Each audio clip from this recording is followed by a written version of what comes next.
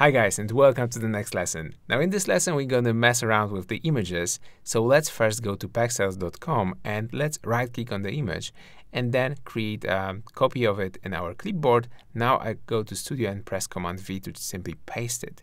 So let's first make sure that we have a good enough quality. Let's divide the height by 2 and of course we have nice quality for the avatar photo. We're going to make it even smaller and uh, position it in the top right of our layout. And this is um, an example where I can show you how to use masks inside of Studio. So if you've ever used any UI design software, uh, you're probably familiar with masks.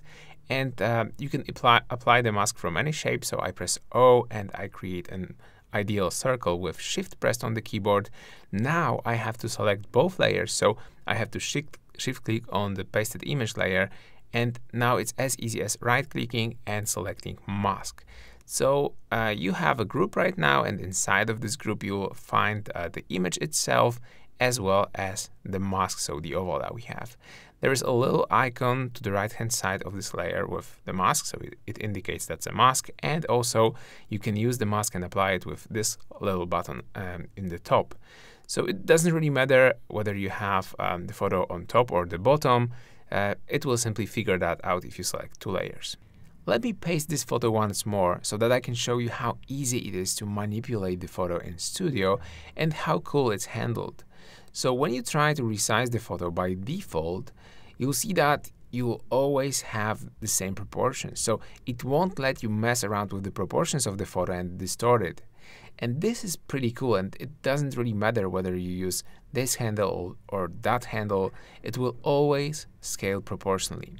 So what if you want a different behavior? Well, it's possible and it's really cool. If you unlock this little lock icon, this maintain aspect ratio icon, now you can freeform uh, transform the photo, but it's useless if you you know mess around with um, the edges and the size. So instead of this, it behaves in a different way. It will let you scale some kind of a frame that's above the photo, and this photo will automatically fill in this frame. So this is really nice. And this is, by the way, the behavior that is very similar to the browser behavior of CSS attributes that you can apply to different containers. So it means you can, inside of Studio, you can mimic the behavior of this image in the browser while it's responsive. So really, really cool. And um, it will work best if you have uh, this uh, main object in the center of the photo. Sometimes you'll have to apply the mask, but then you also have some different options in the fill properties of um, this container. So if you go to fill properties and click on this little icon, you have the photo here, obviously, but the mode is set to fill right now. So what you can do is you can change it to fit. And now if you scale this container, it will always keep the entire photo inside the container and visible. So this was the second option and the third one is stretch. So basically you don't want stretch because it will distort your photo and you know, just destroy the proportion.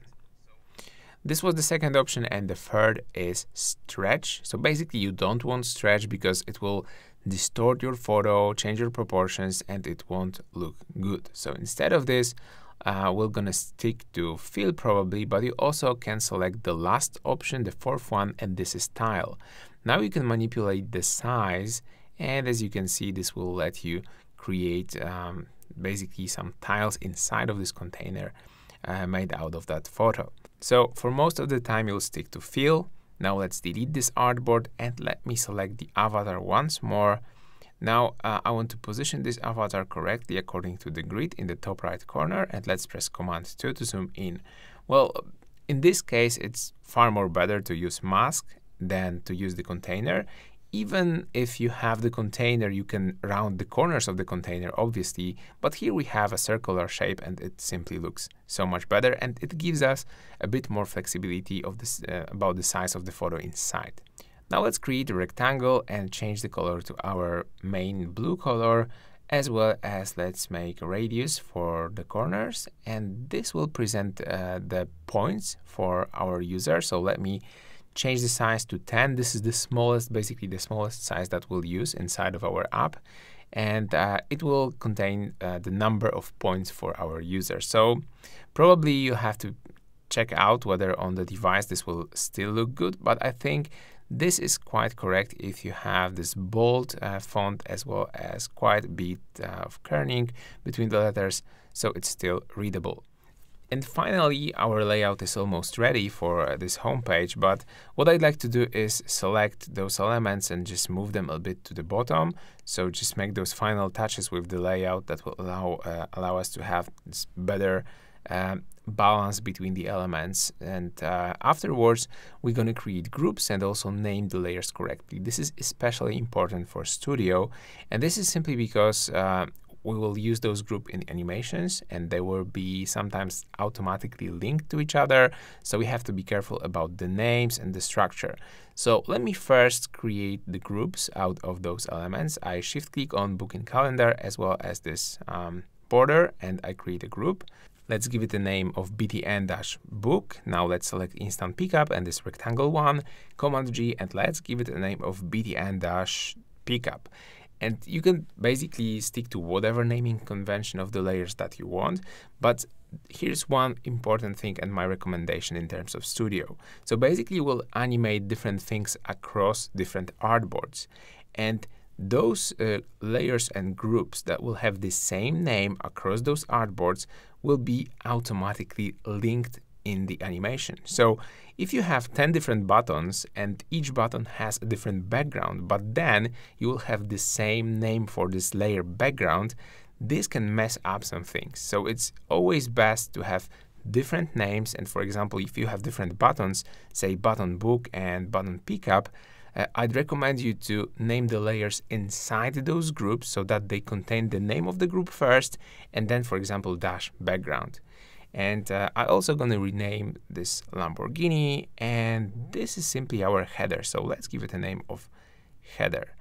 Now let's select the avatar and rename this group to avatar, as well as let's select the points and background, group it all together. This is points. And let's shift click on avatar to select both groups and group it all together into avatar dash batch group.